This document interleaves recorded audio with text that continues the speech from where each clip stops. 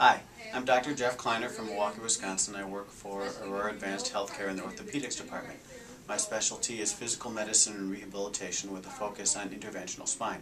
I'm here to talk to you today about something called lumbar facet syndrome. What lumbar facet syndrome is, is a type of arthritis in the joints in the back. Uh, it's a relatively common diagnosis.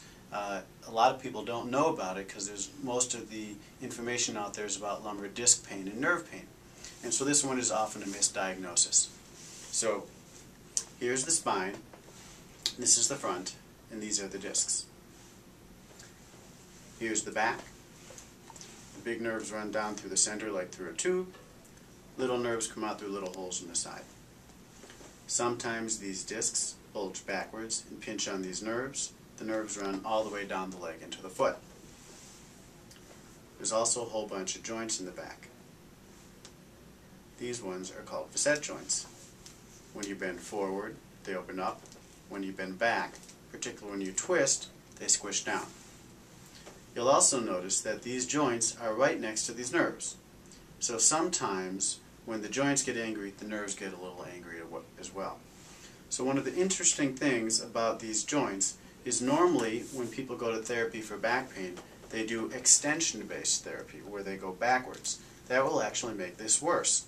And lumbar facet syndrome is more flexion-based. So for lumbar facet syndrome, generally I recommend physical therapy and anti-inflammatory medicines first. If that doesn't work, then the next step is to start thinking about different spinal injections for that. Luckily, there's a lot of really good options.